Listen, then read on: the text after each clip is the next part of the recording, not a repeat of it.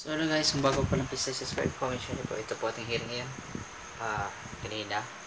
So, 448, 448, 423. Ito po yung competition natin, 423.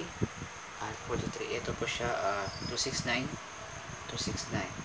At saka yung, post nyo na po ang video, pili na na po kayo, 364, ito po. 832, sa pangalawa dito, 654 o 647.